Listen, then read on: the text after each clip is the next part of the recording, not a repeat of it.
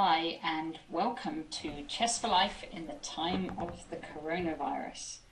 Today we have a Grandmaster who needs no introduction. It is English Grandmaster Peter Wells. Uh, he has been um, British Junior Champion on three occasions. He has written many books, including some great books on the Semi-Slav and the Trompowsky and he has been he's worked with the England team and he has coached uh, seconded Joel Lautier, Michael Adams, and Luke McShane.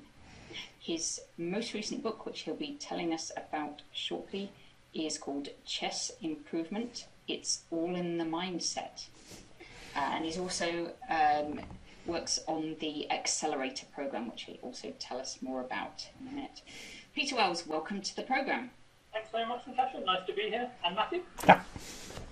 Can you start off by telling us a little bit about your chess career and how you got into playing chess? Well, I, I was one of those. I was one of these sort of group of people who learned at about the age of six, which I think is not uncommon among people who took chess quite a long way. I it, neither of my neither of my parents really played at all. Um, I had an aunt came over who visited us from New Zealand who bought our my first chess set Oh. And as far as I remember, she knew enough to kind of teach me the rules. But I remember, I remember a little bit of a time lag where we had this chess set there, and, and, and my mum does seem to have this idea that it was very difficult. and you know, as we all know, it's quite a difficult game to play well, but it's not that easy. To, sorry, not that difficult to play at all. And I think I was a little put off at first from even finding rules. Then when we did learn the rules, I thought, I, you know, that was surprisingly okay. And I think um, I think probably the most important thing in my early years was that I had a friend um, who also became very interested, mm. um, and the two of us were kind of sparring off each other, um, you know, friendly rivalry for quite a number of years. And yeah. also, together with that, was a pretty active, thriving junior scene in Portsmouth and Hampshire as well. Yeah. So in those yeah. senses, I was quite lucky, but there was very little by way of formal coaching or that kind of thing. Did your friend continue to play chess? No. Did your friend continue to play chess? No, my friend got to, I don't know, he, he if he's listening, he probably won't like however I describe it. I think he got to kind of 180-ish. Okay, like yeah, great, yeah. He's strong player at, at, at You're going to give him a name check? So Ian Welch. Oh, yes, okay. And he, well, I mean, I remember as a, as a young junior, he was very, very theoretical. I remember sitting next to him in a simultaneous playing Paul Littlewood once. Mm. And, um, you know, I was getting sort of squeezed in some advanced French or something, and he was on move 25 of the poison four. you know, he was one of those guys who took his learning theory very seriously, and that was, that was, you know, I think for a while I kind of played along with that a bit, and he would bash me up in theory now and, again, now and again. And then one of these local mentors at some point said, you know, you actually quite good. he suggested that I might actually be a little bit better than he was, and that if I stopped playing all this theory, I might stop getting patched up. And that was a very helpful piece of advice, which I took. And and then I started to move ahead with him a little bit. But we played on for, you know, we, we went to London for tournaments, staying together, that sort of thing, for some years. But I think he gave up, I can't remember, mid to late teens. Okay, yeah. Yeah. yeah as many people do, of course. Yeah. And you you went to Oxford University? Go to Oxford University, yeah. Yeah, and you weren't a mathematician. I know many chess players are mathematicians, but you weren't a mathematician. I don't know, but also not, aren't they? I mean, in, in my time, there was James Howland was a linguist, and there were. I'm stopping now thinking the others on but there were others. Dave Norwood, is he wasn't a mathematician? David Norwood. History, I think. History, I think. yeah. yeah. yeah. Um, and yeah, that, I mean, of course, there were a lot of mathematicians. There were a lot of, you know, it was incredibly strong at Oxford when I was there. There were, there were just off the top of my head, um, Jonathan Levitt, um, Colin McNab, David Cummings, Ken Regan was there. All these guys were there at a similar kind of time. So, uh, John Hawksworth, who, yeah. of course, was a very strong player. So it was quite a, you know, it was a good chess environment at Oxford as well. Mm although I think, you know, the time I was in Oxford itself, I didn't, in fact, play that much chess. Yeah. Oh, okay. You were more into your studies. I was quite into my studies for a time, yes. yeah, I was more into my studies studies at that point. But you know, um, then I then I started to do a PhD, but kind of it didn't work. I didn't basically get the right subject, um, and after about six months or so, I decided to, to, to cut my losses and get out of that. And I think at that point, moving into chess for a time felt like a bit of a liberation. It was Yeah. Yeah. Um, and as people always say, and I- I think just about everybody says, they didn't go into chess expecting to be there 10 years later or 20, 30 years later. Yeah. They expected to be doing it for a short time, but somehow it has, you know, there's a lot to like about the chess life and it has a way of sucking you in at some point. Yeah, yeah, yeah, yeah. And um, and well, what what about writing? How do you find chess writing? Do you enjoy that? How do I find it? Um, I do enjoy it. I mean, okay, I started, my early opening books were kind of before the age of the engine. Hmm. And in that time, they were substantially more difficult than they are now, I think. You know, you had to Yeah. make I mean, okay, I think working with an engine is a very interesting thing as well. I mean, I've got, I'm quite interested in the whole process of how the human brain tracks with, with, with the computer. But, um, you know, back in those days, you had to make a lot of very tricky judgment calls about which lines were good. Yeah, a lot of assessments where Yeah, you had no yeah. help. And, you know, the semi-Slav book, which you were kind enough to mention in the- introduction, was from that period. And yeah, it was quite a, it was a quite a tough slog. So in terms of, you know, as a piece of employment, pretty catastrophic. Hundreds of hours and then receive a, Yes. a rather minimal paycheck. So you kind of have to enjoy it on some level. And I remember while, well, soon after I finished this book, I was playing the semi-Slav. And basically, the time I was writing it, my results weren't very good, and I was getting a bit discouraged by this. Then when it came out, uh, the results improved a lot. I presumably Yeah. the people were reading it and believing it. no, I not. But you left these little gaps, did you? It took a while to get into the kind of Yeah. culture of the opening. I think you know, for a while I was playing it because I was writing about it, and I think you have to play it because you're loving it. Yeah. Yeah. But you know, and I, I, I liked. Then I then I moved away from these very ultra theoretical books, and I think things like the Scotch, which I really liked a lot. I felt the Scotch was a, a tad neglected. I really enjoyed that one. And then the Trompowsky later. These were much less heavy theoretical books and much more conceptual, and that's a that's a good deal more fun, I think. Yeah. Because you wrote you wrote some books you wrote some books for Gambit as well, didn't you? The, the Queen's Indian and uh, and the I, I like these very much actually. On the Caracal, I, personally, I was very fond of the Queen's Indian. and I wasn't Yeah. so keen on the Caracal. No, the, the Queen's Indian one was, was very good. They were very well received. I mean, Yeah. yeah. pleased with them. Um, again, they were quite conceptual in nature, but there was plenty of chunky analysis as well. Um, but after that, and I was originally due to write more than just those two. After those two, I kind of got a bit fed up with writing just opening books. Hmm. Because you put all this effort in, and they're, they're interesting, and the, the things about them are like, but they're a little bit transient. You kind of think that in Yeah, 10 years' yeah. time, maybe nobody You're gonna have to rewrite it. Yeah. and yeah, and then there will be new books which, whether they're better or not, will will will be more up to date and therefore more more read. So at that point, I decided I didn't want to write, any more pure opening books. I mean, that's not a commitment for life. But I, I don't have plans at the moment to write more opening books. And then I hmm. started embarking on another project, which unfortunately didn't come to fruition. And then we came to my current project, where you know I was lucky enough to be invited into a project by a co-author, and then it was this one is very different terrain. But, but Yeah.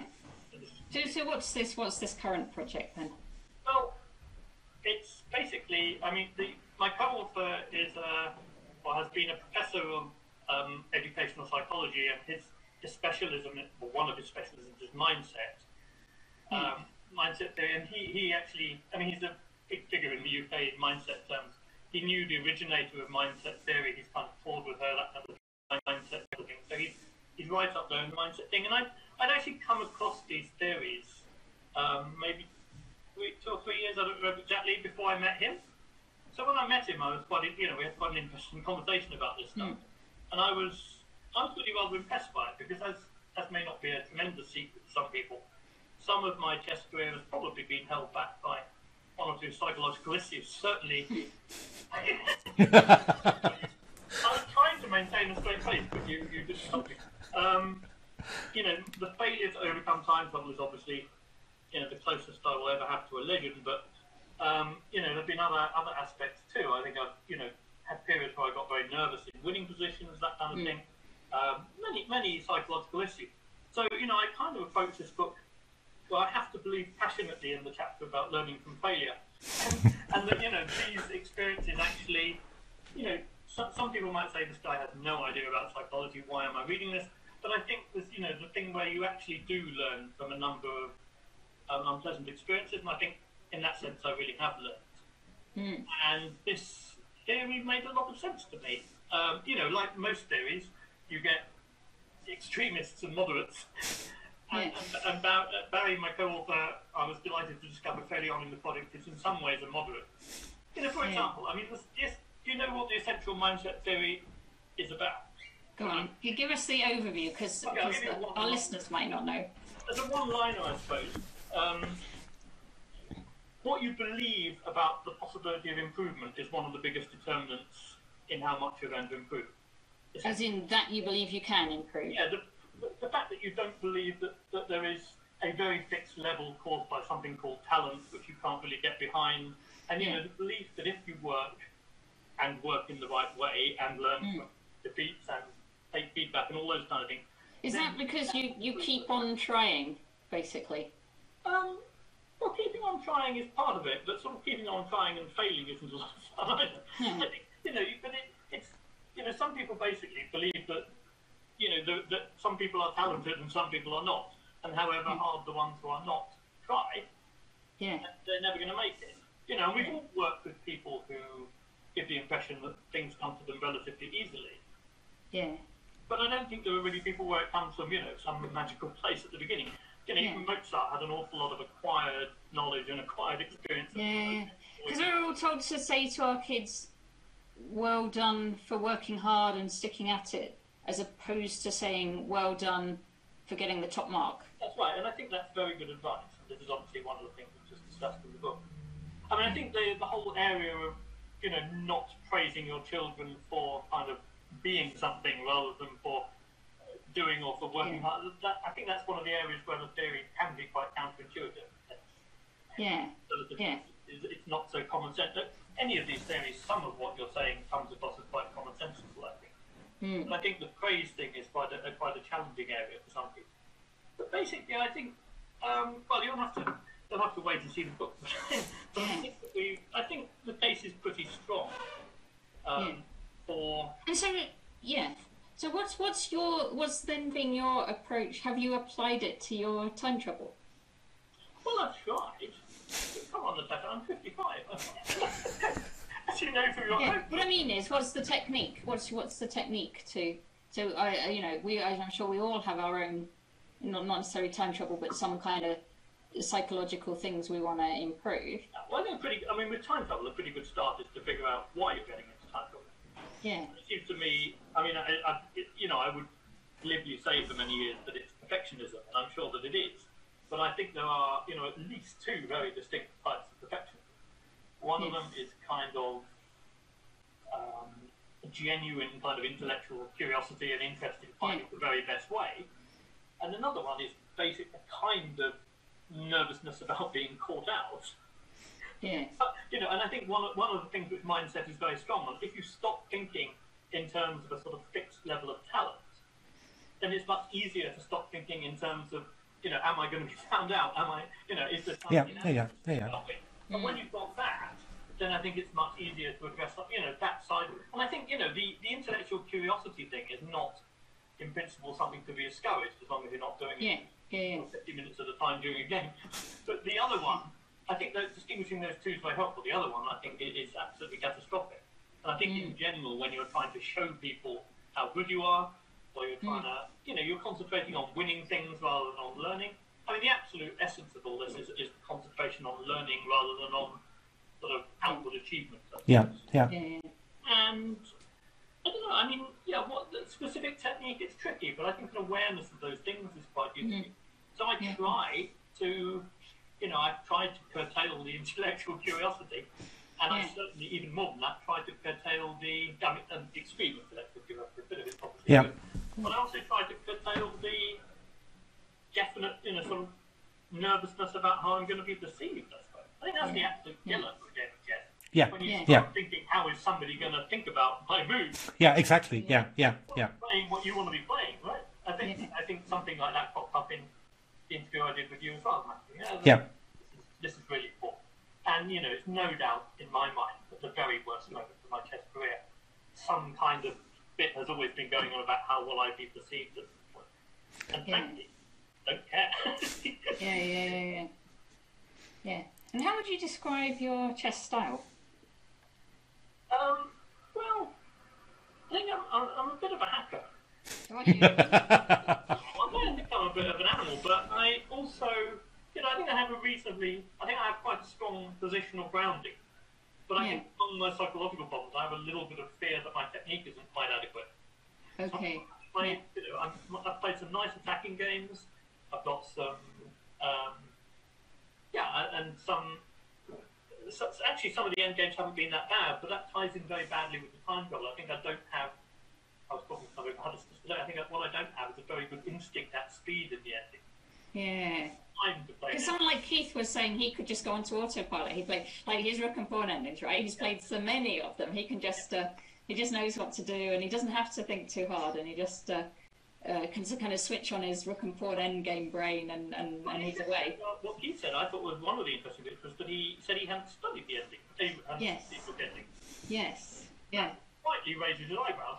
That's, that's Yeah, yeah. No, it's a. But I think yeah. I mean, learning, learning by learning by playing, and if you've got a um, yeah, and if you've got a um, yeah, if if it appeals to you somehow, then you just uh, yeah, you know, sometimes things just uh, you start off with a with a good basis by accident, even maybe uh, can happen, and then things just you know more and more things just slot into place properly somehow. I don't know. It's uh, So it's But- impulse to go yeah. kind of check what you've played against what is supposed to be the truth. Yeah. Know, it's really he really didn't study them. Yeah. It's, uh, I recognise the thing about um, uh, having good instinct or um, at, speed in endgames because uh, obviously that's one of the things that Magnus Carlsen is so impressive in. You know, just this beautiful feel for where the pieces go. You know, even in these blitz games, you see some of the endings, and uh, and uh, yeah, I mean, I always feel I'm you know I'm, a decent endgame player, but I do need time just to you know to, to think it through and uh, and and plan it through, and you know, playing endgames of blitz is, is quite tough. I find. I think when I'm playing well, I have quite a good feel for where things go in the middle game. Yeah, But for yeah. some reason, when the pieces are coming off, that, that feel kind of isn't there anymore in the same Yeah. way. You know, then it really needs to be thought about much more. So, hmm. so I've done the complete opposite of what I should have done. By that logic, I should have reserved time for the end game. game.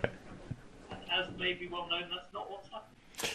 Yeah, I, I do wonder as well whether if you get into time trouble a lot, the uh, the sort of endings that you get are often quite random. Um, you know that it's, it's uh, you never get you never the game's never progressing quite normally, but there's some sort of hiatus in the middle, and then afterwards, you know, the end game and the pawn structure's been ruined, you know, because you've you've you've done all sorts of things there. You know, whereas um, um, yeah, but I, I mean, because I, I got into time trouble quite a lot, you know, when I was um, when I was younger, and uh, well, towards the end of my professional career, I got a bit better, and uh, so I, I sort of noticed that somehow, or had the feeling anyway, that you know, positions after move forty were a little bit more normal. I was getting, you know, more normal positions. My pawn structure was still vaguely intact, and that somehow that makes endings easier as well. You know, they're they're uh, a lot more standard somehow, not so random. But uh, it's I uh, think in terms of things being practiced, it occurred to me that I actually have relatively little practice in playing end games under normal conditions. yeah, yeah, Yeah.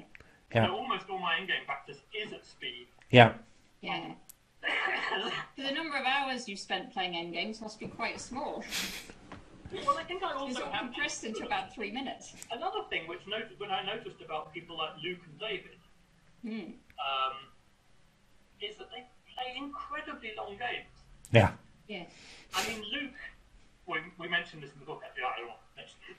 But yeah, but we, we, we mentioned in the book that, you know, one of, I remember Jonathan Rowson saying, and, and I, it completely resonated with me at the time, that one of Luke's strengths is that he thinks he just enjoys sitting at the board more than most other people. Mm. And therefore, these 140 move games and things, is, is absolutely comfortable with that. Whereas I think a lot of people are, you know, sort of pretty, pretty easy to get away by about move 70. Yeah, yeah, yeah. Well, I think that's very, and I noticed David as well. I think I looked at the two of them. They both had, at their tender ages, about ten or more games, which were longer than my longest game. Yeah. That's yeah. not a fairly significant thing. That's actually outrageous. Which Yeah. actually, you know, I think that probably does show that you like chess, doesn't it? because you, you might have agreed a draw or given up way earlier if you if you Thing is. I think I quite like chess too, but it doesn't sort of, you know, Yeah. doesn't mean I'm happy to sit there all day long. I, maybe I'm just lazy. I haven't really occurred to me that until I saw this. But I, it's a it's a horrifying thought. But it's a very interesting feature about Yeah, yeah, yeah. That's true. David's sheer doggedness, actually. Yeah, yeah, And, and when you when you do your you you've you've seconded a number of players and you, you you've done a lot of coaching. How what's your focus when you do that? Are you are you quite into mindset uh, in regards to coaching, or are you more on the techniques and the openings? What what? Well, I think when I was um, when I was uh, working with you know the people I'm, that we mentioned before, Luke and Mickey and, and those guys, I, I didn't have any knowledge of mindset at that point. I, you know, it was, that's all come since then. Uh, my role now, my role now with the accelerator is a little bit different because I'm not. I'm not there principally as a coach. I'm supposed to be a, a more broader mentor. It's a mentoring Okay, role yeah. rather than just a coaching role. So Yeah. then it's very natural and works very, very well actually in tandem with what I've been writing to bring in these other things. Uh, so yes, I'm thinking very much about mindset. Yeah, You know, I'm, I'm getting some chance in a way, and yeah. And how are players responding to that? Well, it, I'd say a mixture. I'd say some are responding quite well. Others uh, are probably slightly more baffled by the message. I they- they- but I think that no, I mean they, you know they're, they're responding fine, but some of them are quite young, and it's it's Yeah. quite a com- you know what part of what I'm trying to do, and part of what I think is one of the keys that mindset theory reveals is is you know thinking about the way you're working is an incredibly important you know kind of Yeah. work without much thought behind it is often quite wasted. I think. Yeah, And- yeah. Yeah, Well, I remember Nigel saying to me many years ago that you know he thought thousands and thousands of hours were spent by people working on chess who actually had no idea how to go about it.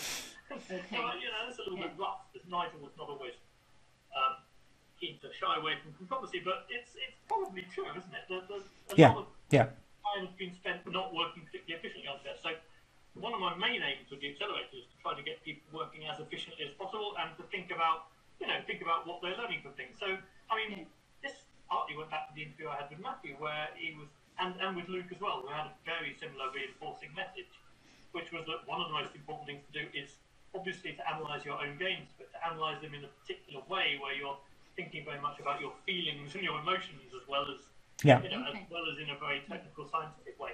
And that was, for me, one of the most interesting things I learned during the whole sort of process of writing the book. And I've des- definitely, very strongly been trying to put that into practice yeah, with the accelerator. So everyone on the accelerator writes notes to their games, whether they like it or not. And, Yeah. they, and this so they're very aware of their own feelings as well as their own. that's, that's the aim. yeah, Yeah, uh, at different ages, some of them very much so, but they're getting, you know, they're being much more self-critical in that sense.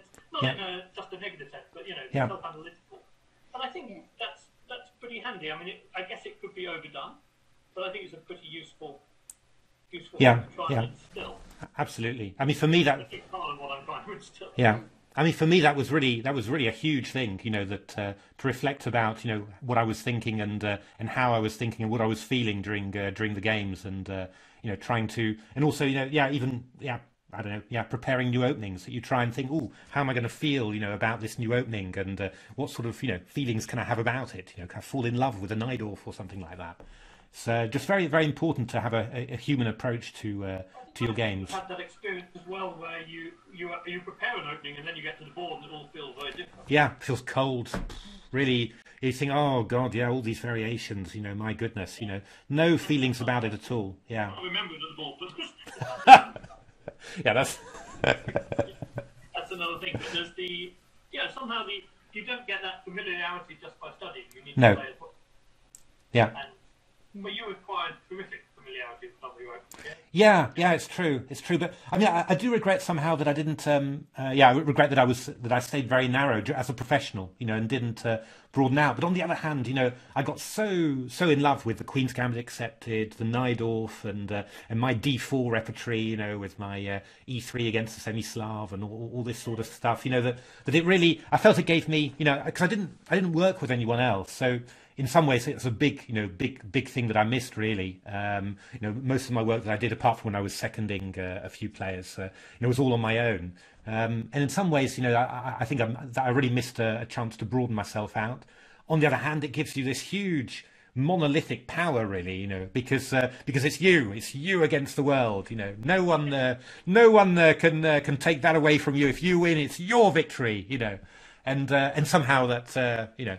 I don't see myself as ultra competitive, but somehow that was obviously, you know, really that was really what I loved about. Um, Looking moulded into a conspiracy theory. Making this looking sinister, but, but yeah, yeah, it's, uh, but uh, yeah, no, I mean it's, it's uh, but I think yeah, I mean obviously in general also I think you know working together with someone else is also uh, what John Emms said. You know, he said he worked a lot obviously with Chris Ward when they were sharing a flat, and uh, that that helped them enormously when they were chasing the GM title, and I'm, I'm, I'm sure must must have been uh, must have been brilliant, and uh, it's uh, yeah, yeah. Did, did I've mainly worked for people rather than with them so much. okay, yeah, yeah, But it, you know, it, also those those were good. I, I've had those kind of good working relationships. You know, you definitely learn quite a lot. And I think know, Yeah, yeah. I, mean, I had uh, when, when I worked with uh, with Joël Lautier, you know, I mean, remember these great times when uh, you know you're you're you're about to face he's about to face Kasparov tomorrow, and uh, you know he sends you away for the night, and uh, it's you nine hours, and you know something to break one of Garry's lines. You know, I mean, it's a great, uh, especially the pre-computer age, you know, because uh, that was the especially the thing. You know, then it's got a certain romance and drama about it. You know, it's uh, I did. I mean, I loved the fact that you know I was in touch with the top of the game. Even Yeah. though I wasn't yeah, yeah. I love that too. Yeah, yeah. Yeah, you were much closer to being.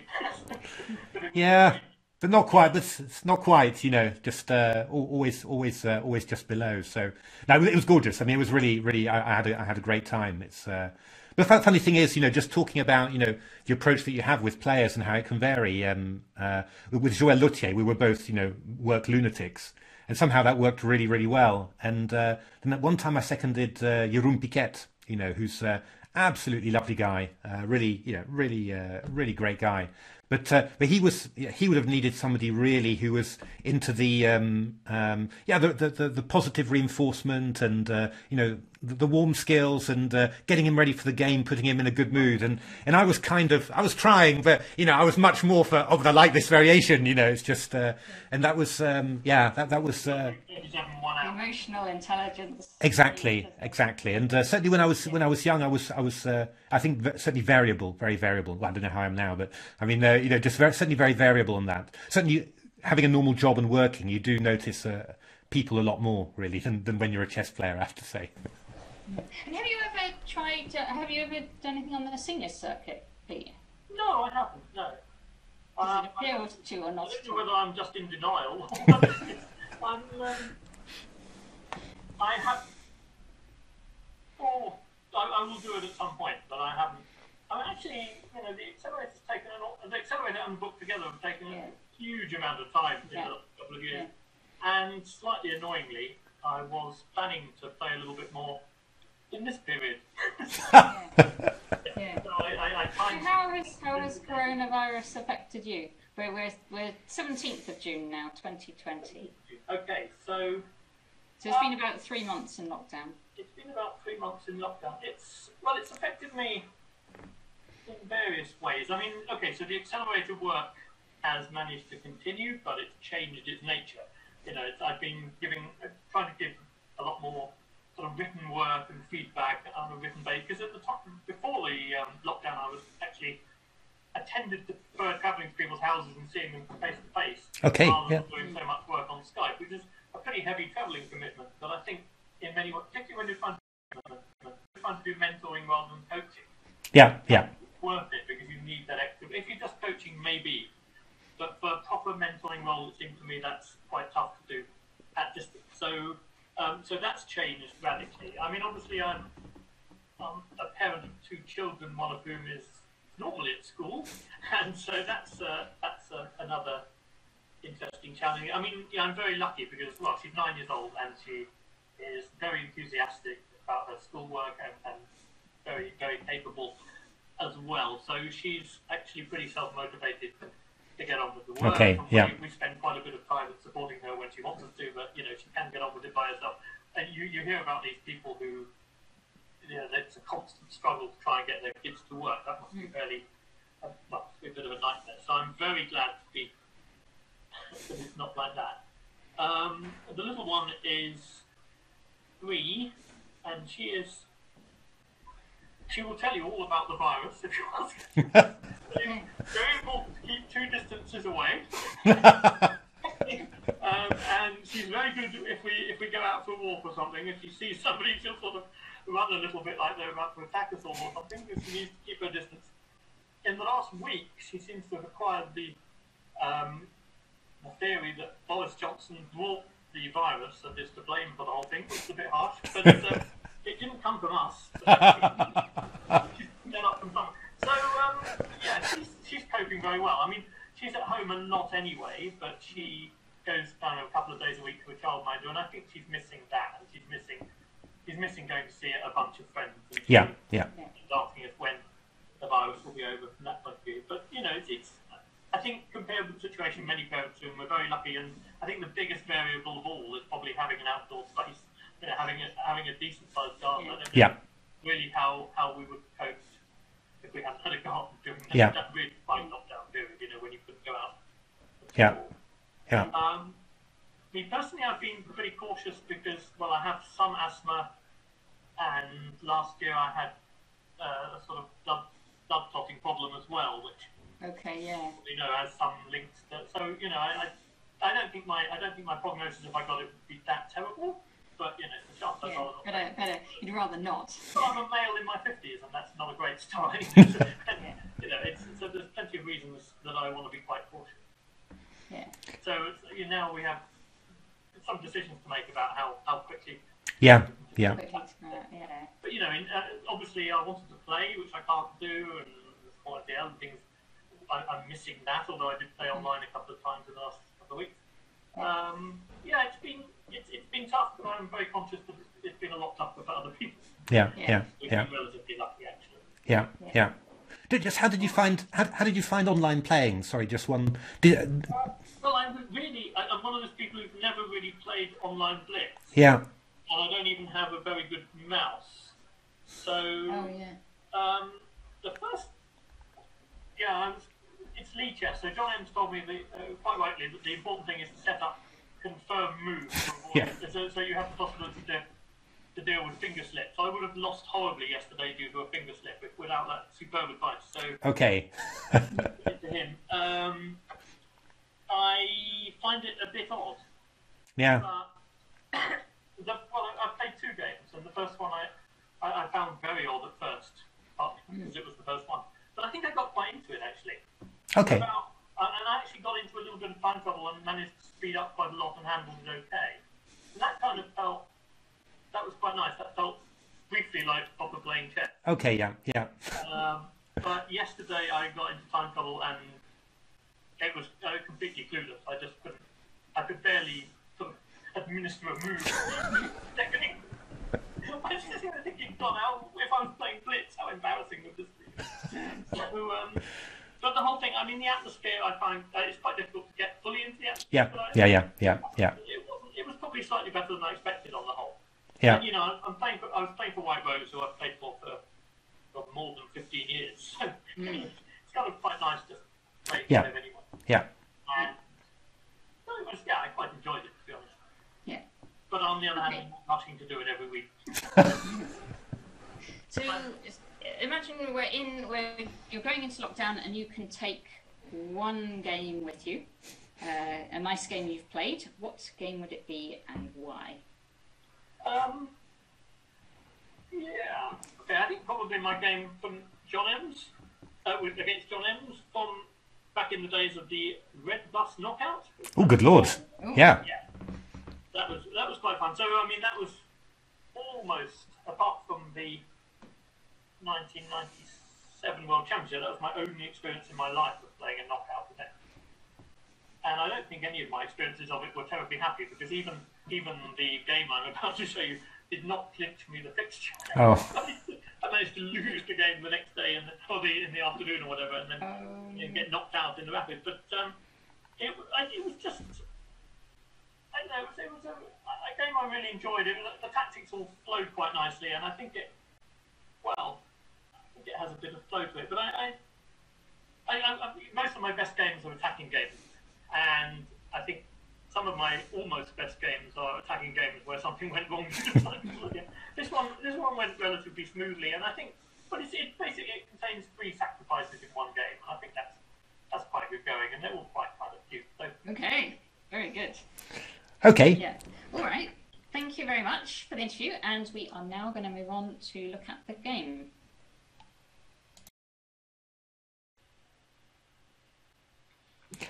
Okay, let's have a look at the game. Peter, you started with knight f3. I did. That's something. I, I, I've been interesting just the survey how many games start with knight f3 because people positively want something, and how many happen because they're trying to avoid. something. well, the latter, if I remember rightly, but I'm not sure. So c5. Oh yeah, John did this all the time, didn't he? Uh, at this period. It's a good move if people have played one knight f3 to transpose into things but didn't really mean it. Yeah, You know, you- yeah, That's the way to catch them out if they're really just d4 players trying to avoid stuff. yeah, yeah. Exactly. Could go e4 here. Yeah, no, that I have done as well a few times. Yeah, it's, uh, but you're too late for the Morra Gambit, Natasha. So uh, Yeah, You don't, do you? you, do you follow Gambit these days? It's been known.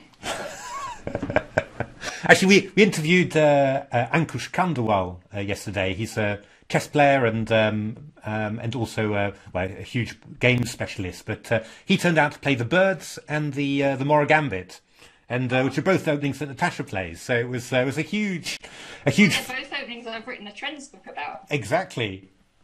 My So- two trends book are the birds and the morra.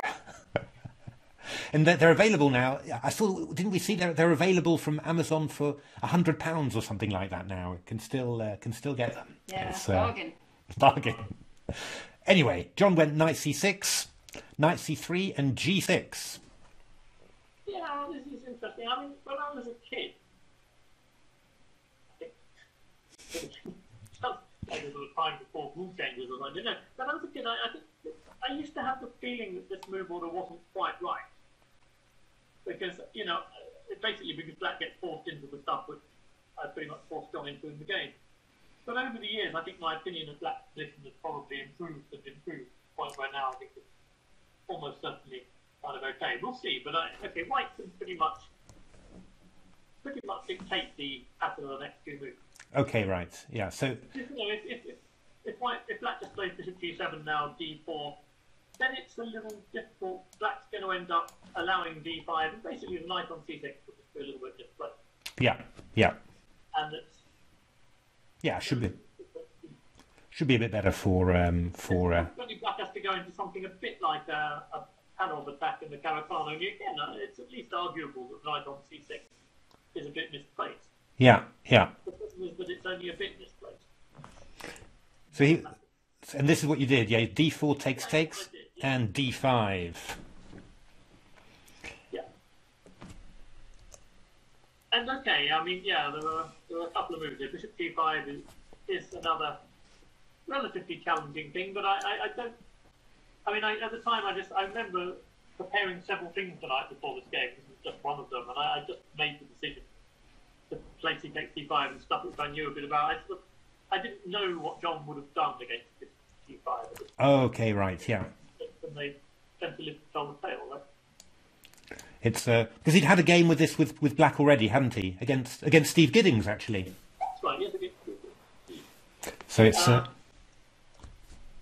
which at the time I knew how that had gone, but I don't recall now. yeah. No, I think uh, I think we've we've got it in the notes somewhere. So Okay, so White's big idea is that you force black to make a concession If you just take that, if black can play bishop d7 and castle, he's very comfortable. This move is, well, it forces black to do something about f7, and if black has to play e6, it doesn't, in some ways, fit terribly well with, with the g6. ah, okay. So that's why he goes knight d5. Yeah, by the way, if they, they, now they've just started. We're, we're, past the moment, but they've started not even bothering to take on c3.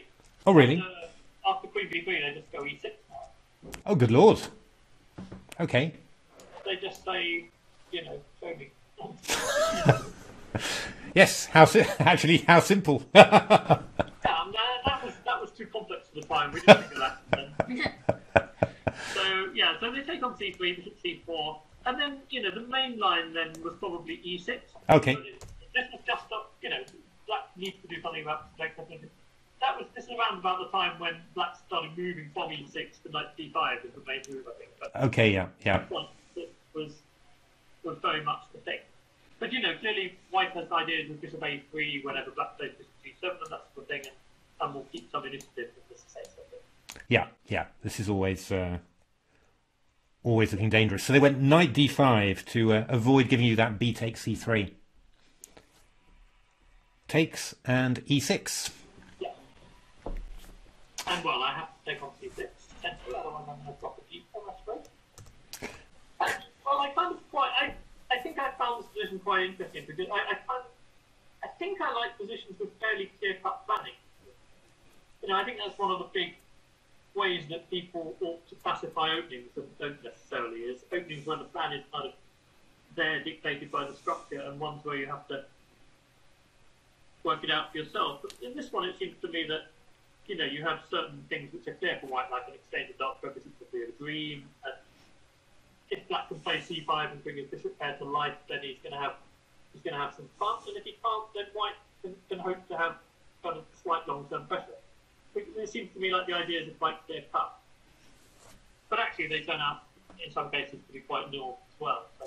Yeah, But I, I was I was sort of happy with this decision, but this is the one which my opinion has changed about a bit. I remember some years later when I was working with the England team, I encouraged Nigel to play this black on my occasion when he was sort of quite keen to he was quite keen to play for a win, and he wanted something with a little bit of imbalance. okay, So yeah. I showed him this, which he didn't seem to know that much about, but he was quite he was quite enthusiastic.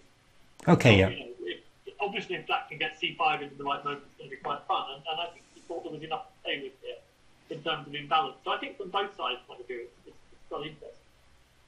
That played Queen D5, I think, which was, That's right. yeah. And now you played, this was the big move, bishop f4. Well, I don't know. I mean, I think this is this is this has had quite a lot of theory over the years. I mean, it's a, it's, it's like one of the key things for black in this position is that f6 is usually quite a good move. I think. Yeah, because some of those you need to start claiming back some of those dark squares. And you know, I've even seen some games where black plays f6 and manages to attack with g5 or something like that. You can sort of imagine if he gets his pieces moving in that way, it could be well the. So although at the time I played the game, bishop f4, I was quite keen on. Since then, moves like bishop g5 to try and hinder f6 have been tried, which is an interesting thought as well. Yeah, once you understand that how interesting f6 is for black, Yeah, you yeah. start thinking more purpose. I remember Yakovenko played that one, and then later just bishop e3 Oh, with the idea of going knight d2 very quickly. okay. Suppose the argument there is if you can play knight d2 and f3, then even if black eventually gets c5 in, it might not be the big deal, but it, it's not Yeah. the other one. Okay, yeah, yeah. Yeah. So Huh. the position's actually quite rich, I think. Bishop f4 was what I did, and yeah, John played bishop g7, although I think f6 is a valid move here as well. Okay, yeah, yeah. Yeah, that looks uh, that looks sensible. That looks that looks right, really, to do that. Back some dark squares somehow. Yeah, Okay, but uh, oh, bishop e7, sorry, bishop e7. Yeah, bishop g7 is, is definitely less good. Yeah. Um, yeah, the binding. Uh, uh, also, I, also, all the time I was, what I had actually prepared was that if white takes, uh, black takes on b3, then I do get sufficient pressure against c6 to yeah, yeah, a little better, I think. Yeah, I think some of the lines are possibly a little bit drawing, but white always has something to play with. yeah, yeah. So I had that much covered. So rook c1. You played ah, you played f6 now, and h4. Yeah, h4. Ahead of your time. Well, I think H4 is not a bad move at all because it's sort of a mixture of aggression and prophylaxis. And sort of have, you know, in the game, H5 later became a, a fairly useful idea. But at this point, stopping G5 is at least part of the plan. Yeah, yeah, And very specifically, I was looking, I thought that, you know, King F6, King F7 might well be where Black really wants to put his king. And in this position, I checked that Queen takes D5 and Rook D7 is pretty nasty. Ah, okay, yeah, yeah. Let's just show that line. So it takes. yeah, takes takes rook d7, and then okay, he stops bishop d6 with rook d8. But then I had the idea of playing g4, g5. which is- Ah, very nice, One very nice. make something of h4. Yeah, very nice. And this position is just, yeah, pretty nice to white. Yeah, yeah. I mean, as usual these days, when you go back and look at it at the end, it's not what do they know about excitement? Exactly. What do they know? so, um, so John, John went Bishop D7 just to cover that, and Queen E3. Well, I think at some point you realise that you don't want to be offering the spin exchange forever. Yeah. I'm rather like going to take it. Queen E3 feels like, yeah, we're covering C5 but it's of eyeing off the king side. But, you know, we do reach a position in a few moves' time where I, I don't actually any long. While I was playing the game, I was feeling pretty optimistic. I, I, I liked my position, but now I think it's actually pretty well balanced. Okay, yeah, yeah, But, you know, in chess in general, I think if you're going to have a fault, overestimating your position is probably one of the best faults there is. definitely, Yeah. definitely, yeah, yeah. So, Rook C8 he played, and Rook C3, I'm trying to ah. stop it. and Rook C3. So just uh, going to double up on the C file and prevent C6 to C5. Yeah. Indeed. Castles, okay. Yeah, I think when I wrote my notes originally, I thought King F7 was probably a better move here than Castle, but the engine now is indifferent. Yeah, yeah, yeah. I think they're both broadly.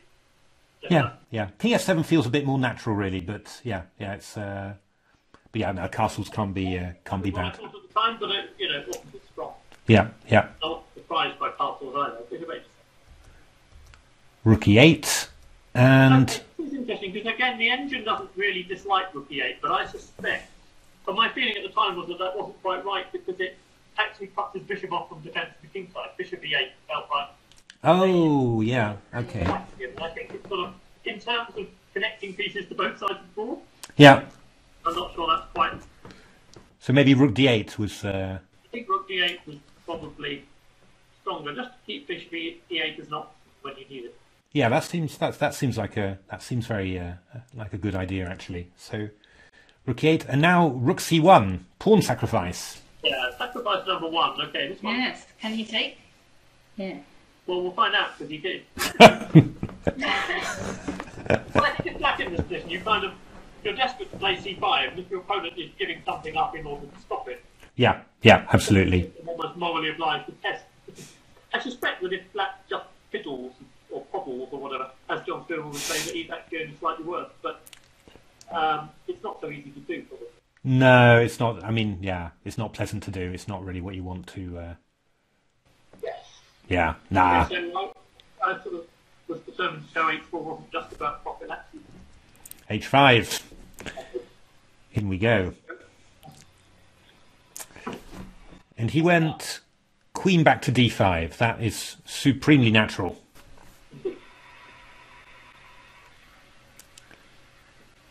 So what did you do here? Oh, this is where it starts getting exciting, isn't it? It's been thrilling already, Matthew, but yes, Takes, takes. There's some action now. Okay, so I mean, I kind of think his main asset is the bishop pair, and his main weakness is the dark squares. So you at least take a look at trying to exchange off this bishop. Rook c5. Oh, oh, sacrifice. Device number two. Takes, takes. And queen d6 he played. Yeah, queen a2 is possible, but I think I, I, I have sort of some aggressive resources in that case as well. I would, I would have thought so. Starting with queen, queen d3 maybe. Yeah, I think it's queen d3. Just stop that queen from uh, from getting back through uh, b1 f5. Yeah, And this looks pretty hard. king Yeah, f7. Something then will be similar to the game, not not better for black. Then. Yeah, okay, because you can just uh, ah, he's, I can try and avoid it, I suppose. And queen g6. Yeah, but you're you're happy with this. I'm happy You're you're happy to go for this.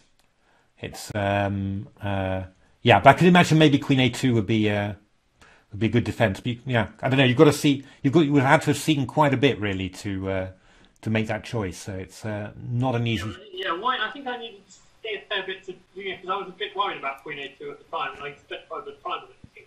Yeah, yeah. But yeah, of course, Queen D6 looked away on that. Okay, and now, Queen d3. yeah, this is the kind of moment. Yeah, this is the kind of moment where I think he's really missing Bishop E8. Yeah, you're right. It's very concrete, and I think he was missing it in general. So. Yeah, Yeah. yeah, You know, and it is an illustration of how that bishop's actually stopping his position. yeah, Kind of coordinating as well as it's. So, yeah. yeah, he's got a bit of a problem with this G6. So he went, Um, yeah, he went King F7. We've also got, King H7 is Rook H5. That's the key. oh, very nice. And Bishop somewhere will be pretty strong. Yeah. Yeah. This is powerful. I don't think he has a, a square which doesn't lose a queen. No, no, he can only move to dark, can't he? Really? Yeah, he can get that.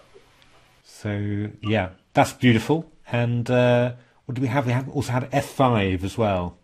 Yeah, F5 is F5 is interesting because I think at the time I thought kind of um, 95 and that's it.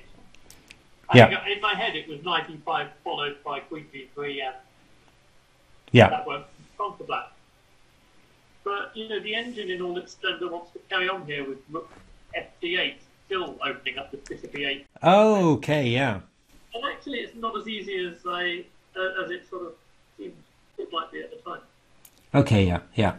I guess maybe, yeah, I guess you you take on G6. I'd take on G6, yeah. And I think, yeah, no, I mean, you know, White's attack is, is pretty strong, but Yeah. I have to find e5 here. Oh, okay, yeah, okay. I see. Okay, so this sort of uh, this sort of defense, yeah, yeah, This is kind of, this is like, this is what it's like when you go through your games years later with the advance of engines. indeed. But White is at least better at the end of all this, so. Yeah, yeah. I'm not surprised. E5, extra concept of maybe Queen, you know, Queen G3 next, I guess. Yeah. Ah, this looks very strong. Queen G3, King H7, I think. Oh. I gather in that moment White has to um, play Bishop G5 and Queen H4 check and read material. It feels like a bit Good lord.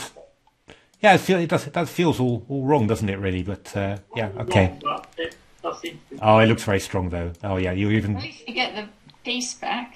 yeah, and you're cutting off this rook on c8, so that's that is very strong. But my goodness, yeah, yeah, just shows just how uh, any position, any position, these engines can find I think amazing. at the time I didn't think that much about F5. Yeah, Okay, yeah, it is, it is the, the least bad option at this point. Yeah. They- it is- He played uh, another very natural move, King F7. And this gave you a chance to display your tactical talent. 95 check. It's very nice, very nice, very nice blow. Third sacrifice. Indeed. Takes. Check. King G8. Obviously, uh, King E7 is Bishop G5 mate. Worse? So King F7, King G8, and Queen F6. Yeah, it's a tough one to defend, this one. He went Rook E7.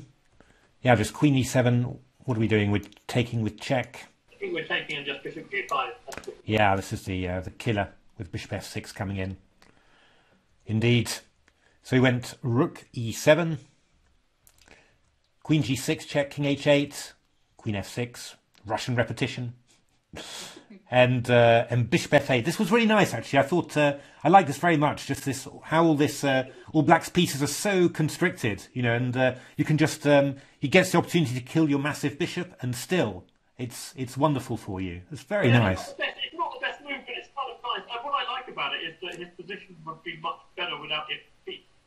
Yeah, yeah. It, it, the piece sort of stops Rook D7, therefore after taking it stops the coordination of. So, yeah, without the bishop, it wouldn't be so disastrous. But because he's So black took on f8, queen takes f8, and uh, yeah, this rook on e7 pins to the queen on d6. And uh, yeah, this rook on c5 is ready to take on e5 or come to c3. And this queen can't move. No, it's a, yeah, it's amazing, huh? It's a really uh, very unusual. I don't think I've. Uh, can't move because the queen, and the queen can't move because of the rook. So you have to move the bishop. Exactly. Move the bishop. And then rook c3. Now you don't take on e5 because uh, the bishop's covering h5, but rook h, rook c3.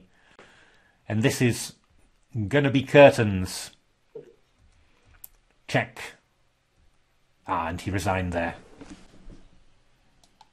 King g5, queen f6, king g4, and rook h4 checkmate. Very nice. That's a great game. Yeah, that's a great. I remembered it actually. Uh, I remember seeing this one at the time. You don't for, you don't forget a move like Rook C5. That's uh, I remember seeing this one, uh, seeing seeing it from this position. So uh, it's uh, no really great. I mean, um, uh, yeah, I mean, I think Black needed to to find some quite unusual moves to defend every time. You know, Queen. I, I think uh, you know, Queen A2 would have been probably a better defense, and then uh, and then later, you know, F5. But these are, yeah, that makes it a, a very yeah, makes a very difficult defense when you have to find you know really unnatural moves. You know, putting your queen away from your king or uh, or weakening the squares you've been trying to control all the game. You know, so uh, I can understand why um, why uh, why John played the moves he did. You know, but uh, but these uh, yeah, really really stunning, really uh, really excellent. Because actually you're, you're attacking with not that many pieces, you know, but they're just so beautifully coordinated that uh, Yeah, Works- I mean, sort of underlying dark squares are pretty horrible. Yeah, yeah, that's uh, that's true. That's true. It's uh, oh, fantastic, Peter. Well, thanks very much for showing us that game. Great to see uh, to see that one again.